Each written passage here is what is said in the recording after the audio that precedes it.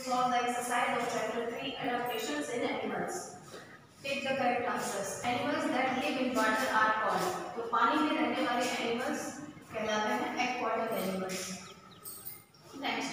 squirrels and monkeys are मतलब गिलहरी और बंदर कैसे एनिमल्स हैं एरियल टेरेस्ट्रियल एम्फीबियन या आर्बोरियल आर्बोरियल आर्बोरियल का मतलब होता है कि ये अपना लाइफ का मोस्टली टाइम ट्रीज पर स्पेंड करते हैं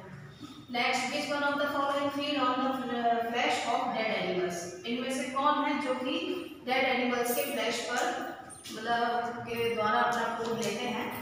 हर्बीवोर ओमनीवोर कार्निवोर एंड इसके स्कैवेंजर तो हर्बीवोर वो होते हैं जो ग्रीन प्लांट्स खाते हैं ओमनीवोर जो कि फ्लैश खाते हैं कार्निवोर सॉरी ओमनीवोर जो कि फ्लैश और ग्रीन प्लांट्स दोनों खाते हैं कार्निवोर फ्लैश ईटिंग होते हैं और स्कैवेंजर्स जो होते हैं, दूसरे एनिमल्स की डेड मतलब जो डेड एनिमल्स हैं उनकी बॉडी से अपना फ़ूड लेते हैं तो scavenger next movement of a large group of animals to avoid the unfavourable conditions to a safe place is known as मतलब अनफेवरेबल कंडीशंस होने पर एनिमल्स जो हैं पूरे पूरे ग्रुप एनिमल्स के एक जगह से दूसरी जगह मूव कर जाते हैं, और ये प्रोसेस कहलाती है माइग्रेशन और ये अक्सर ऐसा होता है जब फ़ूड की कमी होती है या वेदर उनके फेवर में नहीं होता है तब माइग्रेशन होता है।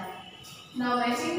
हर्बीवोर हर्बीवोर होते हैं plant eating animals so plant eating animals is sheep carnivore flesh eating animal and flesh eating animal is lion omnivore flesh and plant both eating animal is bear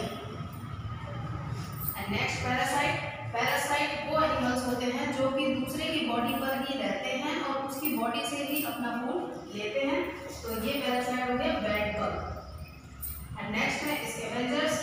scavengers वो animals होते हैं जो dead bodies को खाकर,